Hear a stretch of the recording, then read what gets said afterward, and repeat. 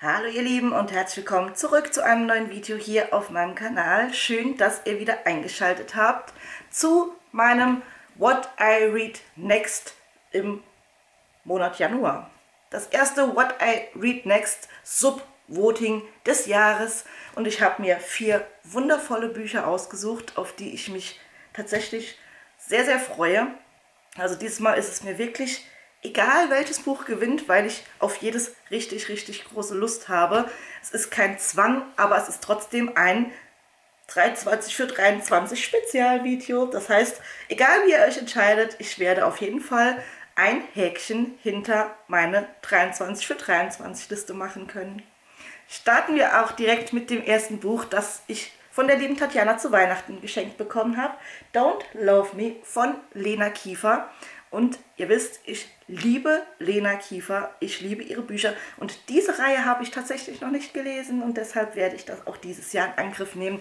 Das war eigentlich ein Win-Win, dass ich dieses Buch auf meine 23er Liste gesetzt habe, weil diesen Haken, den werde ich sowas von machen. Ob ihr es jetzt diesen Monat auswählt oder nicht, ich werde es auf jeden Fall recht zeitnah lesen.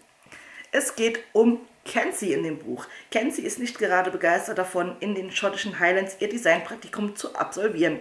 Doch als sie bei ihrem ersten Auftrag dem jungen Erben der Luxushotelkette begegnet, ändert sich alles. Der attraktive Lyle fasziniert sie von der ersten Minute an, doch welches Geheimnis verbirgt sich hinter seinem abweisenden Verhalten? Lyle bleibt einen Sommer, um sich am Stammsitz seiner altehrwürdigen Familie zu bewähren. Gelingt ihm das nicht, ist seine Zukunft in Gefahr.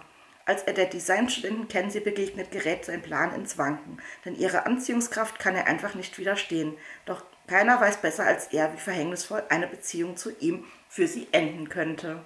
Buch Nummer 1. Buch Nummer 2 verknüpfe ich tatsächlich auch mit Tatjana, weil sie das Buch wahrscheinlich mitlesen wird. Das ist Sebastian Fitzeks Der Heimweg. Da habe ich euch ja schon erklärt, warum ich dieses Buch gekauft habe. Kurzfassung, wir wollten unbedingt einen Thriller lesen, Tatjana und ich. Wir wollten unbedingt einen Fitzek zum ersten Mal lesen, weil wir beide noch niemals einen Fitzek gelesen haben. Sie hat sich das Buch gekauft und ich habe es vercheckt.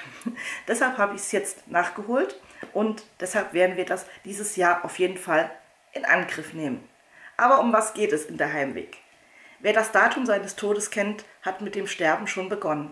Samstag kurz vor Mitternacht Jules Tannberg sitzt am Begleittelefon, ein Service für Frauen, die nachts auf ihrem Heimweg Angst bekommen und eine beruhigende Stimme brauchen, so wie Clara. Die junge Frau glaubt, von einem Psychopathen verfolgt zu werden, der vor Wochen mit Blut ein Datum auf ihre Schlafzimmerwand malte. Claras Todestag. Und dieser Tag bricht gerade an. Buch Nummer 2. Bei Buch Nummer 3 wird es magisch. Cards of Love, die Magie des Todes von der lieben Nena Tramutani.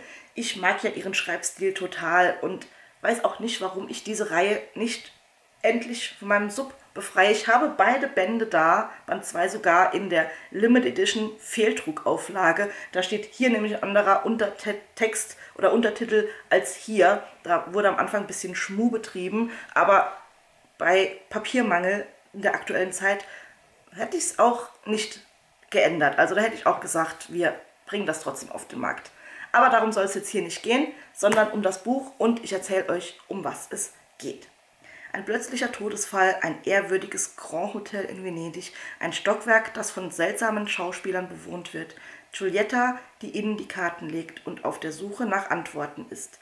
Malvolio, der sie in seinen Bann zieht. Noch ahnt Giulietta nichts von der Gefahr, die hinter seinen Worten lauert. Die Gefahr, nicht nur ihr Herz, sondern alles zu verlieren.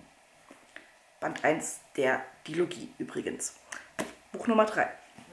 Und last but not least, Buch Nummer 4 wird tatsächlich auch nochmal magisch. The Witches of Silent Creek. Ich hatte das Buch ja auf meiner Weihnachtswunschliste, habe es natürlich nicht zu Weihnachten bekommen und trotzdem ist es hier. Quelle Brise. Ja, ich bin nämlich direkt am 2. Januar zur Buchhandlung gestopft und habe mir das Buch gekauft, weil ich so, so, so viel Bock habe, es zu lesen.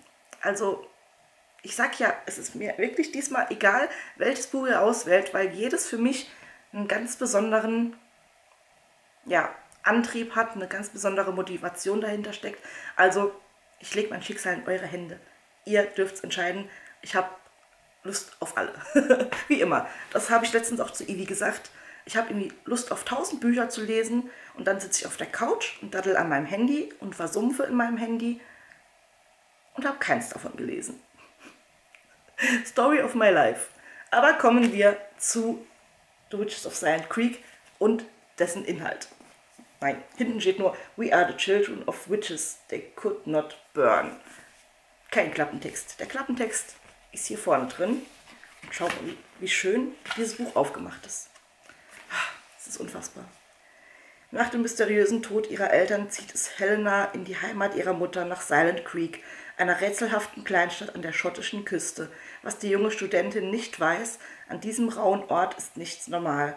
In Silent Creek herrschen düstere Kräfte, die Hell vor allem in Tyrail Burnett zu glauben spürt. Das wird jetzt schon ein Zungenbrecher, wenn ich das jedes Mal lese, ich sag's euch.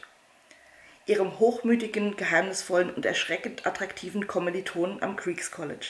Ausgerechnet er rettet ihr jedoch in einem verheerenden Moment das Leben. Hell wird klar, dass dunkle Mächte wirklich existieren und die Menschen bedrohen. Und das Schlimmste, sie fühlt sie in sich selbst. Buch Nummer 4. Wie immer gibt es jetzt nochmal einen Schnelldurchlauf. Buch Nummer 1 wäre Don't Love Me von Lena Kiefer. Buch Nummer 2 wäre Der Heimweg von Sebastian Fitzek in der Limited Edition mit schwarzen Buchschnitt. Nur so, by the way.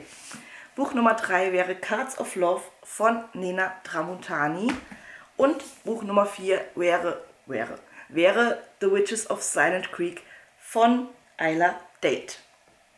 Wie immer liegt es in eurer Hand und wie immer muss ich euch auch noch updaten, ob ich ja, das Subvoting von Dezember geschafft habe.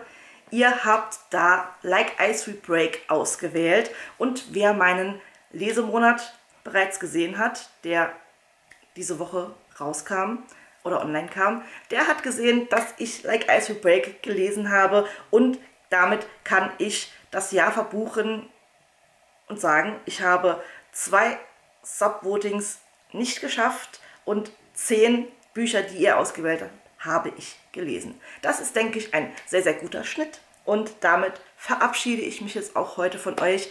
Ihr habt es jetzt wieder in der Hand. Ihr dürft entscheiden, was ich im Januar im ersten Voting lesen werde.